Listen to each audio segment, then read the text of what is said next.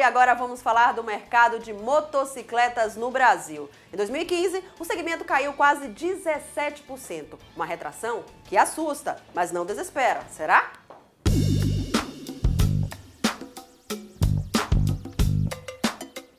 Pelos dados divulgados pela Abraciclo, Associação Brasileira dos Fabricantes de Motocicletas, Ciclomotores, Motonetas, Bicicletas e similares, em dezembro foram fabricadas 50.633 motocicletas. Antes, 84.820 unidades de dezembro de 2014, correspondendo a uma retração de 40,3%.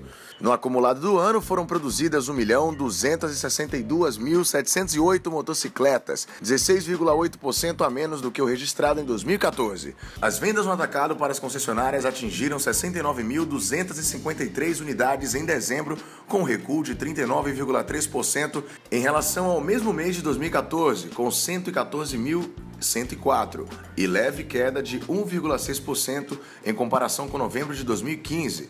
As exportações somaram 5.944 unidades em dezembro contra 6.298 do mês anterior, o que corresponde a uma baixa de 5,6%.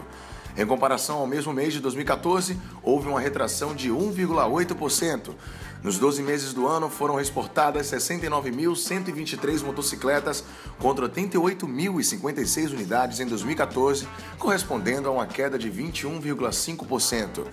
Já o emplacamento dos ciclomotores passou a ser de responsabilidade dos Detrans de cada estado, o que impulsionou um crescimento substancial nos números de licenciamento do veículo.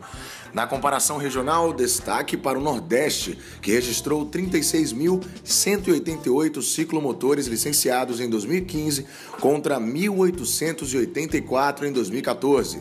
A região Sudeste, em segundo lugar, apresentou 22.239 unidades, frente a 9.960, uma luz no fim do túnel.